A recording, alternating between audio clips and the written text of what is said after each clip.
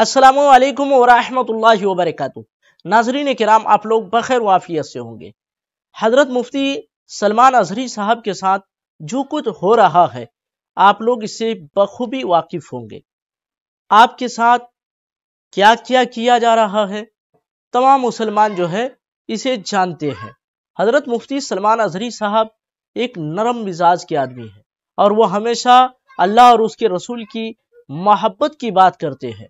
लेकिन जूनागढ़ गुजरात कोर्ट से आपको जो है जमानत मिल गई है और बाइज्जत आप रिहा हो गए हैं। लेकिन कुछ हासिदीन जो आपसे हसद करने वाले हैं, आपसे जलते हैं तो वो जो है अनाप शनाप की बातें करते हैं और तरह तरह की बयान दे रहे हैं।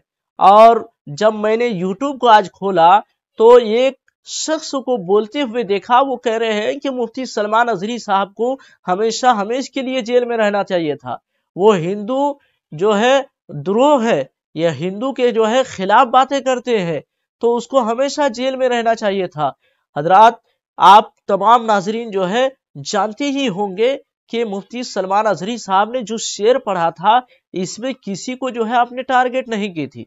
इसीलिए जो है, कोर्ट ने इसे जमानत दे दी है और बाइज्जत आप रिहा हो गए हैं। लेकिन उस शख्स के आप बयान को अगर सुनिएगा तो आपके कान बंद हो जाएँगे। आप सुनने से जो है, मजबूर हो जाएँगे। वो शख्स जो है, मुफ्ती सलमान अजरी साहब के लिए तरह तरह की बातें कर रहा है। क्या वो शख्स कोर्ट से भी जो है बड़ा है?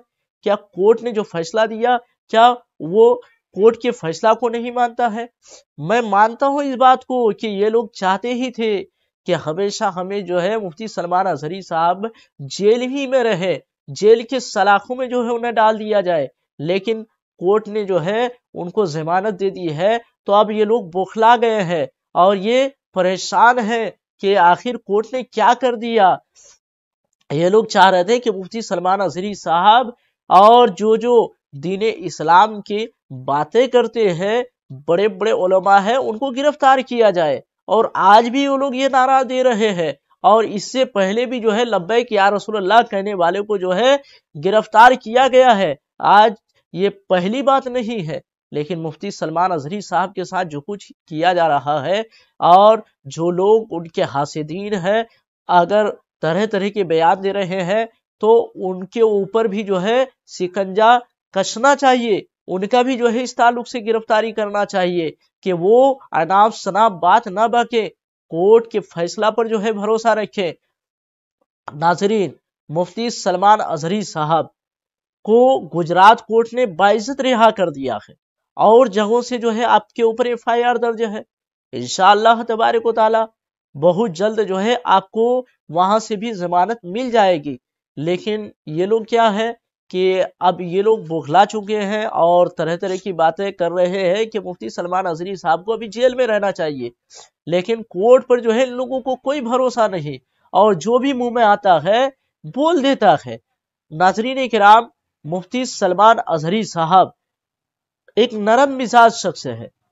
उसने कोर्ट में भी ये बयान कर दिया, ये बता दिया कि मैंने किसी को टारगेट करके कोई बात नहीं कही है। अगर कोई मान लेता है तो हम क्या करें? तो नाजरीन, आप तमाम नाजरीन से गुजारिश है कि उनके हक में जो है दुआ करें, तमाम मुफ्तियान कराम के हक में दुआ करें, और हमारे जो इस्लाम के बड़े बड़े रहबर हैं, उनके हक में दुआ करें कि अल्लाह तबारक ताली उन्हें हमेशा हमें सलामत रखे, और मुफ्ती सलमान अजहरी साहब को जल्द अज जल्द जो है कैसे रिहाई अता फरमाए।